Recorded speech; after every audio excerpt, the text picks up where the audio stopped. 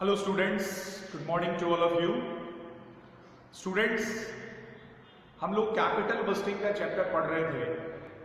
और capital budgeting के chapter में हमने पिछले टर्न पे पे बैक पीरियड का एक अनस इक्वल कैश इनफ्लो का क्वेश्चन किया था। आज मैं आपको अनइक्वल कैश इनफ्लो का ही क्वेश्चन करवाने वाला हूँ। वही क्वेश्चन है। और हम उस क्वेश्चन में A R R average rate of return method NPV net present value method और पीवीआई प्रेजेंट वैल्यू इंडेक्स निकालेंगे। आप देखिए आपको एक सवाल दिखाई दे रहा है। इस सवाल में आपको इनिशियल कॉस्ट 80,000 है और आपका जो कैश इनफ्लो है वो फ़र्स्ट फाइव इयर्स यानी पहले पाँच साल 14,000 पर ईयर आपको दिया हुआ है। उसके बाद सिक्स सेवन एट नाइन और टेंथ ईयर में आपको 16, 20, 30, 20 एंड 8000 कैश इनफ्लो आपको दिया हुआ है। देखिए स्टूडेंट्स कैपिटल बस्टिंग में जो मेन मेथड होते हैं चार। Payback period method average rate of return method जिसे हम छोटे रूप में ए आर आर कहते हैं। Net present value method NPV और internal rate of return method I R R ठीक है? तो कैश इनफ्लो का मतलब ए आर आर के लिए होता है income after tax and after depreciation income after tax and after depreciation और बाकी सब मेथड्स में हम कैश इनफ्लो लेते हैं income after tax before depreciation वैसे ये सारे जो हम लोग कैश इनफ्लोज कैसे निकालेंगे? एनपीवी आईआरआर सबके फॉर्मूले आपके पास हैं। मैं आपको सबके फॉर्मूले ग्रुप में आपके पास सेंड कर चुका हूँ। लिखे हुए हैं आपके पास में, आप उनमें देखें, उनको पढ़ें। देखिए, इस सवाल में हमें, न तो डेप्रिसिएशन की सूचना है, न टैक्स की सूचना है। हमें केवल दे दिया कैश इनफ्लो तो कैश इनफ्लो कहीं पे लिखा हुआ है तो आप क्या मानेंगे कि कैश इनफ्लो का मतलब क्या होता है? Income after tax before depreciation okay और हमें क्या चाहिए एआरआर के लिए? हमें चाहिए income after tax and after depreciation तो स्टूडेंट्स जब आपको कोई संख्या बिफोर में दी हुई है तो उसे हम आफ्टर में बदलते हैं। उसके लिए हमें क्या करना है? माइनस करना पड़ेगा। ठीक है? डेप्रिसिएशन जब हम माइनस कर देंगे तो वो बिफोर का क्या बन जाएगा? आफ्टर बन जाएगा। और उसके बाद ए आर आर का फॉर्मूला लगा के हम लोग निकाल लेंगे। तो स्टूडेंट्स आइए हम इस सवाल को सॉल्व करते हैं। ओके तो सबसे पहले आपको क्या काम करना है? सबसे पहले आपको एक कॉलम बनाना है ईयर्स का। ईयर्स कितने हैं? ईयर्स हैं पूरे दस। लाइन से ऊपर से नीचे आप टेन ईयर्स लिख लीजिए। One two three four five six seven eight nine and ten हम लोगों ने दस साल लिख लिए। उसके बाद यहाँ पे आपको जो कैश इनफ्लो दिया हुआ है, ये है कैश इनफ्लो और कैश इनफ्लो को हम लोग क्या कह सकते हैं? Income after tax and before depreciation ये मैंने शॉर्टकट में लिख दिया। ये लीजिए। ओके अब अब हमें जो कैश इनफ्लो दिया हुआ है, वो हम लिख लेते हैं। तो चौदह हज़ार, ये चौदह हज़ार, तीसरे साल का चौदह हज़ार, चौथे साल का भी चौदह हज़ार, पाँचवें साल का भी चौदह। और फिर एक, दो, तीन, चार, पाँच साल का हमने लिख लिया, उसके बाद हमें दिया हुआ, देखिए, छठे साल में सोलह हज़ार, सातवें साल में बीस हज़ार, फिर आठवें साल में है तीस हज़ार नौवे साल में है, बीस हज़ार। और टेंथ ईयर में है एट थाउज़ेंड आठ हज़ार। तो ये कैश इनफ्लो हमने लिख लिया, ये कैश इनफ्लो क्या है? ये है income after tax before depreciation और हमें क्या चाहिए? हमें चाहिए income after tax and after depreciation तो आफ्टर टैक्स तो है ही डेप्रिसिएशन बिफोर है। और डेप्रिसिएशन के बिफोर को आफ्टर करने के लिए हम क्या करेंगे? हम इन सारे कैश इनफ्लोज में से डेप्रिसिएशन को माइनस कर देंगे। डेप्रिसिएशन को माइनस करने के बाद में जो इनकम आएगी, वो आएगी income after tax and after depreciation okay तो अब हम यहाँ पे लिखते हैं थर्ड कॉलम में डेप्रिसिएशन डेप्रिसिएशन का फॉर्मूला क्या होता है? Initial cost minus scrap value upon estimated life तो देखिए, सवाल में स्क्रेप वैल्यू की कोई इंफॉर्मेशन है नहीं। इनिशियल कोस्ट यानी प्रारंभिक लागत, हमें सवाल की दी हुई है एटी थाउज़ेंड अस्सी हज़ार। और लाइफ दस साल है, हमने दस साल के कैश इनको लिए। तो अस्सी हज़ार बटा दस, अस्सी हज़ार में आप दस का भाग दोगे तो डेप्रिसिएशन कितना आ गया? आठ हज़ार एट थाउज़ेंड तो सब में आपको अठारह हज़ार रुपए लिखना है तो एट थाउज़ेंड एट थाउज़ेंड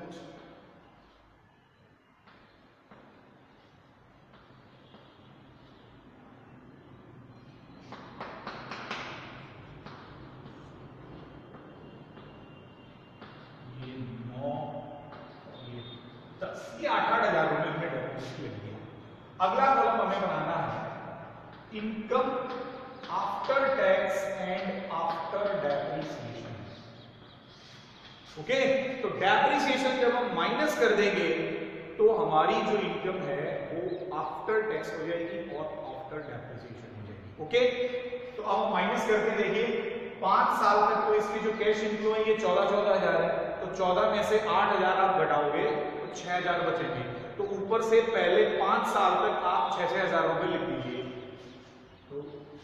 छह हज़ार छह हज़ार छह हज़ार छह हज़ार और ये छह हज़ार। एक, दो, तीन, चार, पाँच। पाँच सालों का डेप्रिसिएशन घटाने के बाद छह छह हज़ार।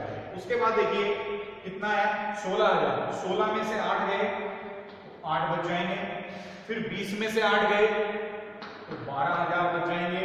फिर तीस में से आठ गए तो बाईस हज़ार बच जाएँगे। फिर बीस में से आठ गए तो बारह हज़ार बच जाएँगे और फिर आठ हज़ार में से आठ हज़ार घटाओगे तो ज़ीरो आ गया। ओके तो ये आपकी आ गई income after tax and after depreciation okay लेकिन जब हमें ए आर आर निकालना होता है तो ए आर आर का जो फॉर्मूला होता है कि annual average income after tax and depreciation तो यहाँ पे ये income after tax and after depreciation तो आ गया, लेकिन जब कैश इनफ्लो अनइक्वल होता है तो हमें उसका एवरेज ही स्टूडेंट्स निकालना पड़ता है ओके तो ये आफ्टर टैक्स और आफ्टर डेप्रिसिएशन की जो इनकम है, हम इस सब का टोटल करेंगे और टोटल करने के बाद में इसको डिवाइड करेंगे हम लोग टेन से, दस से ओके तो आपका जो एवरेज जो है cash income after tax and depreciation आ जाएगा। ओके अब हम इसका टोटल करते हैं। तो टोटल में आप देखिए छह से हज़ार तीस और आठ अड़तीस और बारह, पचास, बहत्तर बहत्तर और दस, बयासी और दो, चौरासी। तो इसका एवरेज निकालने के लिए हमने क्या किया? आपने यहाँ पे लिखा average income after tax and depreciation ये आया थाउज़ेंड और इसमें आपने बांट दिया दस का। तो कितना आ गया? आठ हज़ार चार सौ। आठ हज़ार चार सौ क्या आया है? आठ हज़ार चार सौ आया है annual average income after tax and depreciation या आफ्टर टैक्स आफ्टर डेप्रिसिएशन एक ही बात, ये आ गया। उसके बाद में हम हमें क्या चाहिए? एआरआर निकालने के लिए हमें एवरेज इन्वेस्टमेंट और चाहिए। ओके तो अब हम यहाँ पे एवरेज इन्वेस्टमेंट सिंपल सी बात है एवरेज इन्वेस्टमेंट का फॉर्मूला क्या होता है? एवरेज इन्वेस्टमेंट का फॉर्मूला है initial cost plus scrap value और अपॉन टू ये फॉर्मूला है एवरेज इन्वेस्टमेंट का। तो इनिशियल कॉस्ट कितनी है? 80,000 स्क्रेप वैल्यू सवाल में दी नहीं है। तो 80,000 अपॉन टू अस्सी हज़ार बटा दो अस्सी हज़ार का आधा। तो कितना हो गया? अस्सी हज़ार बटे दो चालीस तो आपका जो एवरेज इन्वेस्टमेंट है, वो फोर्टी थाउज़ेंड आ गया, चालीस हज़ार आ गया। ठीक है? अब हम ए आर आर का फॉर्मूला लिखेंगे और फिर ए आर आर ओके तो अब ए आर आर का फॉर्मूला लिखते हैं। देखिए A R R equal to annual average income after tax and depreciation upon average investment और इनटू हंड्रेड ये हमारा फॉर्मूला है ओके अब अभी अभी आपने annual average income after tax depreciation जो है वो निकाला था आठ हज़ार चार सौ। और एवरेज इन्वेस्टमेंट आपका था फोर्टी थाउज़ेंड और इंटू हंड्रेड तो अब हम इसको सॉल्व कर लेते हैं। ये गए। ये आ गया ट्वेंटी वन परसेंट इक्कीस परसेंट जो है, ये आपका जो ए आर आर है ये आ जाएगा, क्योंकि आठ हज़ार चार सौ बटे चालीस हज़ार और मल्टीप्लाई आप हंड्रेड करेंगे तो ट्वेंटी वन परसेंट आएगा। ये आपका ए आर आर आ गया। ओके उसके बाद हमें क्या निकालना है? एनपीवी यानी नेट प्रेजेंट वैल्यू और नेट प्रेजेंट वैल्यू के लिए कैश इनफ्लो का मतलब क्या होता है? Income after tax before depreciation यानी केवल एआरआर के लिए हमें आफ्टर टैक्स और आफ्टर डेप्रिसिएशन चाहिए। बाकी कैपिटल बस्टिंग का कोई भी मेथड है, हमें कुछ भी निकालना है, सब में after tax before depreciation okay तो हमें जब हम एनपीवी निकालेंगे तो हमें डेप्रिसिएशन को माइनस करने की ज़रूरत नहीं। तो हम डेप्रिसिएशन और इस कॉलम को मिटा देते हैं। ओके तो ये डेप्रिसिएशन के कॉलम को आपने मिटा दिया।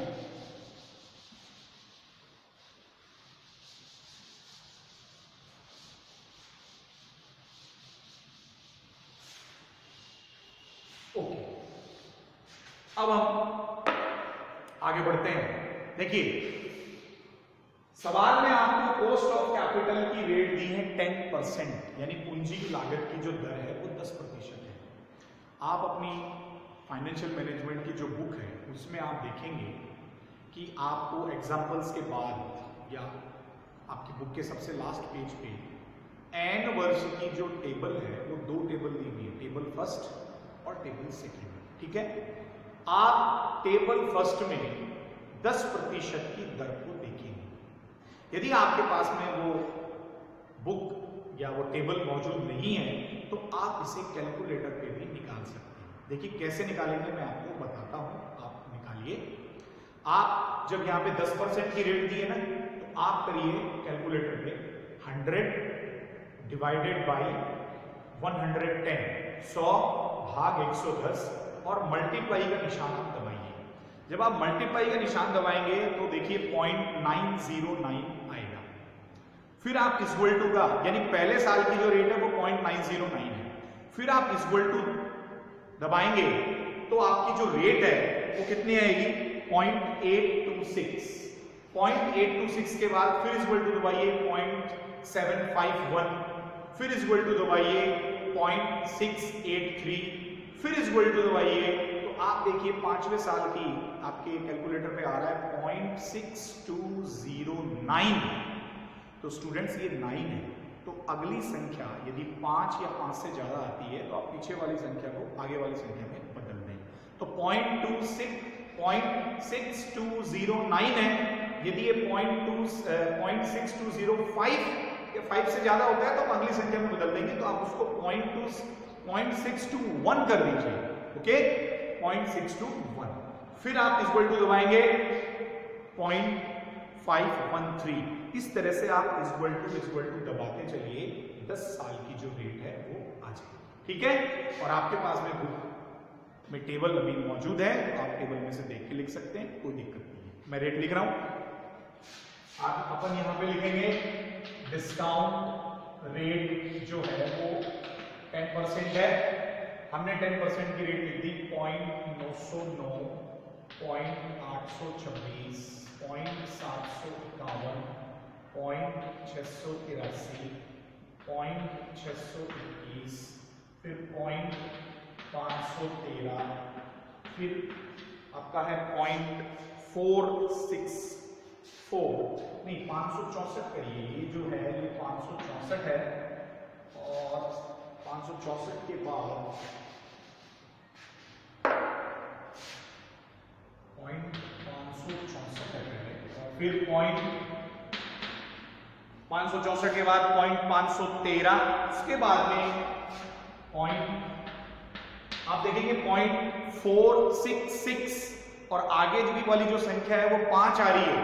तो आप उसको फोर सिक्स सिक्स की बजाय फोर सिक्स सेवन कर दीजिए, ओके?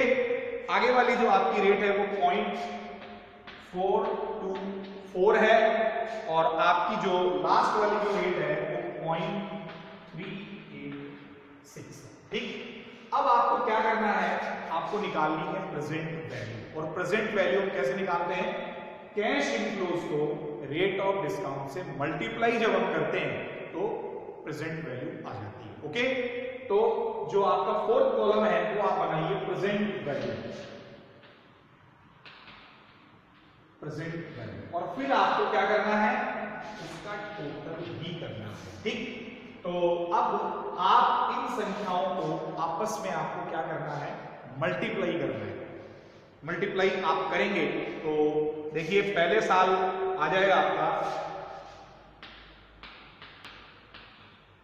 चौदह हज़ार को पॉइंट नौ सौ नौ से मल्टीप्लाई करिए, बारह हज़ार सात सौ छब्बीस। ग्यारह हज़ार पाँच सौ चौसठ, फिर मल्टीप्लाई किया। दस हज़ार पाँच सौ चौदह। फिर मल्टीप्लाई करेंगे। नाइन फाइव सिक्स टू फिर मल्टीप्लाई करेंगे।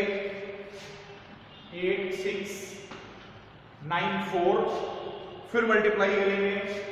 नाइन ज़ीरो टू फोर नौ हज़ार चौबीस। और फिर पॉइंट पाँच सौ तेरह को करिए बीस हज़ार से। दस हज़ार दो सौ साठ आ जाएगा। फिर पॉइंट चार सौ सड़सठ को तीस हज़ार से करिए। चौदह हज़ार दस आ जाएगा। फिर आप मल्टीप्लाई करेंगे। आठ हज़ार चार सौ अस्सी आ जाएँगे।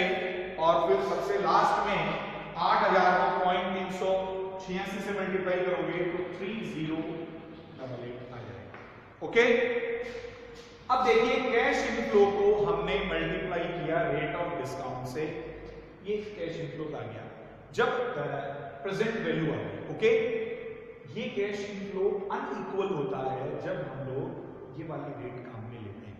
यदि कैश इनफ्लो इक्वल है, मैं आपको आगे इक्वल के भी सवाल करवाऊँगा, तब हमको टेबल सेकंड की जो रेट है, उसको काम में लेना है। ठीक है? तो यहाँ पे आप प्रेजेंट वैल्यू का टोटल करेंगे और यहाँ पे अब लिखेंगे आप total present value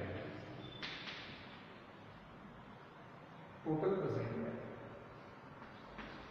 तो आप जब इसमें टोटल करेंगे तो इसका टोटल आएगा सत्तानवे हज़ार नौ सौ बाईस। तो आपने यहाँ पे लिखा सत्तानवे हज़ार नौ सौ बाईस। टोटल प्रेजेंट वैल्यू में से हमें क्या माइनस करना है? हमें माइनस करना है इनिशियल कॉस्ट। इनिशियल कॉस्ट हमारी कितनी है? Eighty thousand. सत्तानवे हज़ार नौ सौ बाईस में से अस्सी हज़ार को आप माइनस करेंगे तो सत्रह हज़ार नौ सौ बाईस आएगा।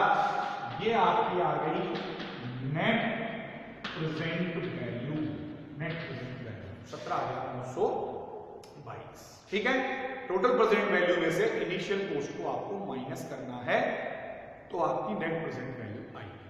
अब इसके बाद हमें क्या निकालना है? पीवीआई मतलब प्रेजेंट वैल्यू इंडेक्स बहुत इजी है। इसमें हमने माइनस किया है, उसमें हम डिवाइड कर देंगे ओके तो आप लिखिए PVI PVI present value index